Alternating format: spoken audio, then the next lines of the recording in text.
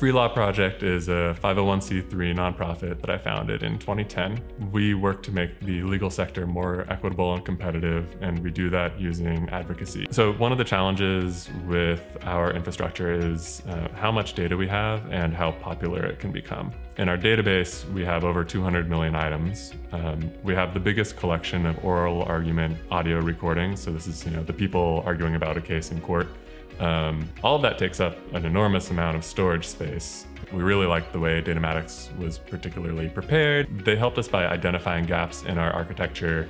One of the nice things of working with Datamatics is that they bring a full team and a big organization to the table. They have that deep expertise in all of the different digital areas. They did great work, uh, they understood everything we were doing, and uh, it worked out really well.